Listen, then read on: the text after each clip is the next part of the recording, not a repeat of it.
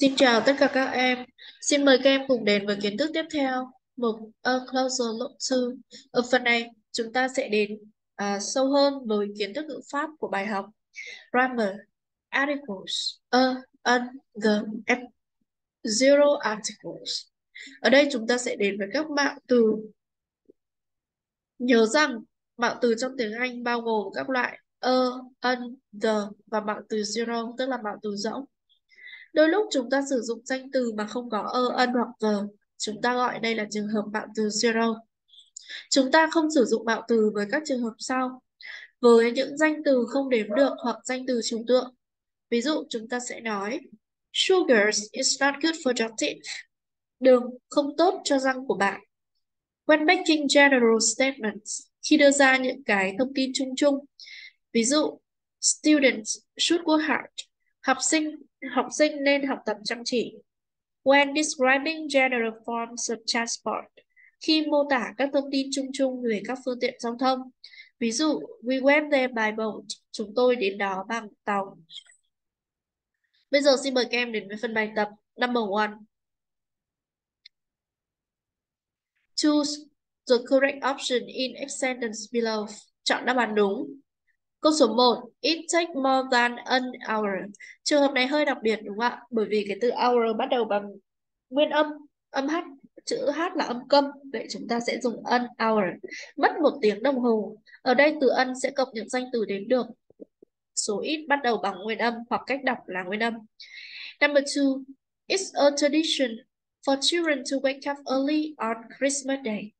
Đó là một truyền thống cho trẻ con thức dậy sớm vào ngày ngày Giáng sinh. Number three, the Up on Bob Festival takes place in October. Diễn ra một tháng mấy, tháng mấy thì chúng ta sẽ không dùng mạo từ trước tháng ạ. Number four, we went to Cần Thơ by air. Chúng tôi đi đến Cần Thơ bằng máy bay. Vậy bằng phương tiện thì chúng ta sẽ cũng sẽ không dùng mạo từ. Number five, where's the book? I thought you left it next to the TV. Cuốn sách ở đâu vậy? Cuốn sách này là mọi người nói, người nghe đều biết, vậy chúng ta sẽ dùng bạn từ the xác định. Number two, which of the underlying parts in each questions is incorrect? Find and correct it. Cái nào trong các câu sau thì không đúng, hãy tìm và sửa lỗi sai. Vậy thì chúng ta có các câu sau.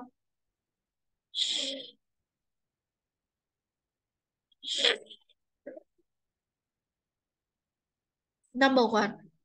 The worshipping kitchen gods is a lifetime tradition of the Vietnamese. Cái việc thờ cúng gọi là táo quân đấy là một truyền thống rất lâu đời của người Việt Nam. Vậy ở đây chúng ta sẽ chọn câu này là câu C. Rồi, các bạn sẽ sửa nhé. Ở đây sẽ chọn câu C. Và chuyển sang mạng từ zero bởi vì là người Việt uh,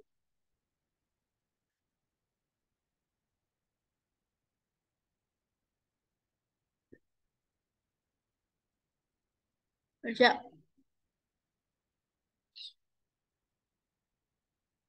Ở đây cô xin lỗi câu này chúng ta sẽ chọn đáp án A thì đúng hơn ạ. Câu này cô sửa lại nhá, chúng ta sẽ chọn câu A.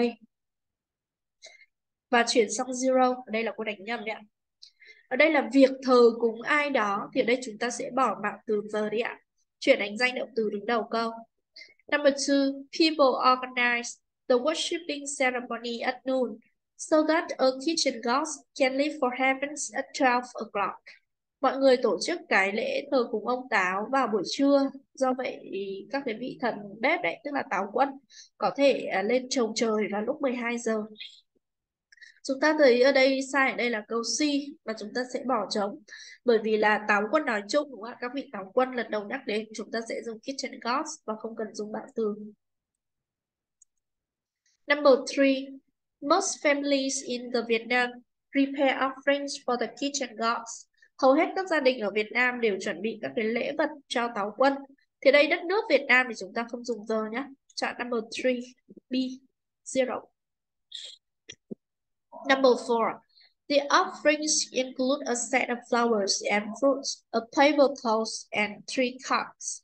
Lễ vật dâng lên thì bao gồm một bó hoa quả này, à, một bộ quần áo quần áo và ba con chú cá cá chép. Thì đây chúng ta là quần áo thì là, là số nhiều. Vậy chúng ta sẽ không dùng bạo từ ơ đằng trước với câu C chúng ta chuyển đến zero nói chung thôi quần áo nói chung. Number five the Vietnamese people believe that the kitchen gods go to heaven on carts người Việt Nam tin rằng những vị uh, táo quân thì đi lên ờ, uh, trầu trời bằng uh, bằng uh, bằng các chú cá chép đấy. Thì chúng ta nếu mà có uh, Vietnamese people thì chúng ta bỏ giờ đi ạ. Đây là Việt người Việt Nam nói chung. Vậy chúng ta không cần bảng từ. Bây giờ xin mời các em đến với bài tập tiếp theo. Number three complete the sentences with a under or zero. Hoàn thành các câu sau với các mạo từ tương ứng. Chúng ta sẽ cùng làm nhé. Number one It is a custom in many families to have breakfast at home on Sundays. Là truyền thống cho các thành viên trong gia đình ăn sáng ở nhà vào các ngày chủ nhật. Vậy đây chúng ta điền zero tức là không điền bạo từ cho các bữa ăn ạ. Number two, when visiting a family home in some countries, you should bring small gifts. with you. Khi thăm một gia đình ở ở một vài quốc gia, bạn nên mang theo cái gì đó với bạn. Thì đây chúng ta thấy là một món quà nhỏ đến được lần đầu nhắc đến chúng ta sẽ dùng ơ. Number three, our village festival is held on the 10th of January. Trước tháng thì chúng ta không dùng bạo từ các em nhé. Number four, ancient Egyptian worshipped sun. Uh, những người Hy Lạp cổ đại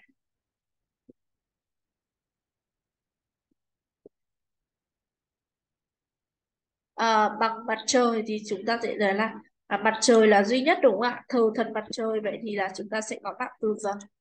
Number five, many people think that hard work is important Vietnamese value là một giá trị quan trọng. Important bắt đầu bằng nguyên âm để chúng ta sẽ chọn ân. Xin mời các em cùng đến bài tiếp theo.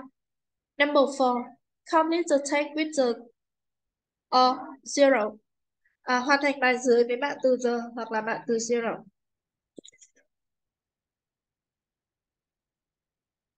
Number one, origin study in the UK. Ở đây chúng ta có là Vương quốc Anh thì chúng ta sẽ dùng bạn từ giờ tập hợp các quốc gia khác ạ. Show that family time tradition are good for teens.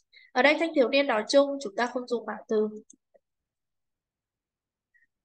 This tradition includes family members playing card games, watching their favorite TV programs, or performing karaoke shows. Ở đây nói chung chung chúng ta cũng không dùng bằng bằng từ tức là hát karaoke với nhau đấy.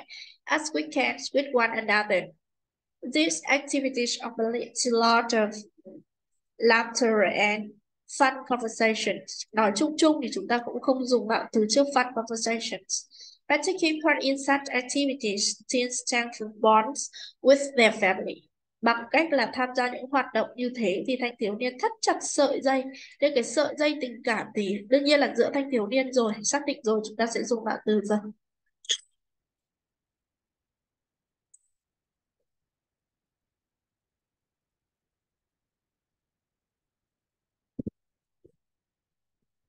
Number five, game bingo. Trò chơi bingo. Work in groups, làm việc theo nhóm. Read the sentences that the teacher gives you. Hãy đọc các câu mà cô giáo đưa cho bạn. Identify the mistake with articles in a sentence. Xác định lỗi sai với các mạng từ trong mỗi câu. Correct the mistakes. Sửa lỗi sai. Say bingo as soon as your group finishes. Nói bingo ngay khi nhóm của bạn xong. The first group to come up with all the correct answers will cái nhóm mà có được tất cả các đáp án đúng là nhóm thắng cuộc. Bài học hôm nay của chúng ta kết thúc ở đây. Sau bài học này thì em hoàn toàn biết cách sử dụng bảng từ. Hẹn gặp lại các em trong những bài học tiếp theo.